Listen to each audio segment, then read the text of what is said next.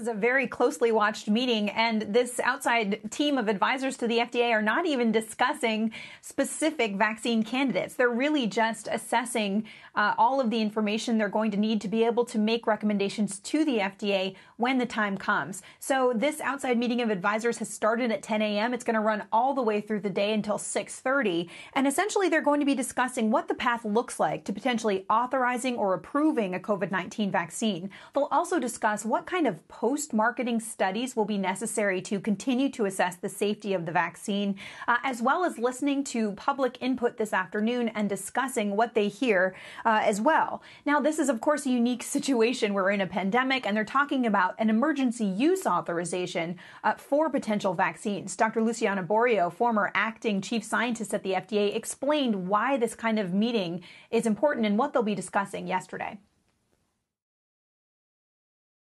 The EUA authorities have really never been used, uh, with very few exceptions, for vaccines.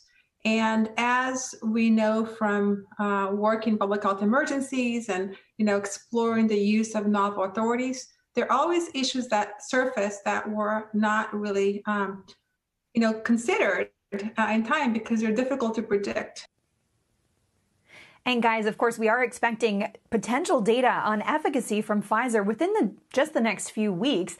And we also just learned from Moderna minutes ago, they have reached full enrollment of their phase three trial at 30,000 people. And they say they'll decide uh, after they have two months safety follow up on half the people whether to file for emergency use authorization, probably at the end of November. Sarah? Meg Tirrell, unusual also because less than two weeks to go before the election. Keep us posted. Thank you. Shepard Smith here. Thanks for watching CNBC on YouTube.